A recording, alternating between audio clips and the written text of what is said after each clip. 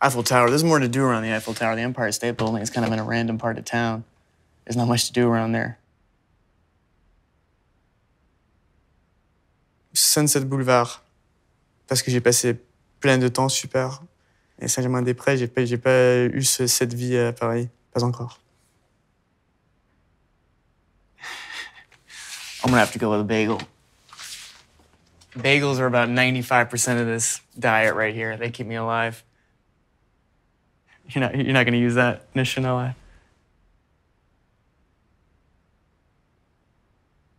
Les films de Scorsese, c'est. et Ils sont tous magnifiques. Il te prend par la gorge. Boom. One more? I think that's it, huh?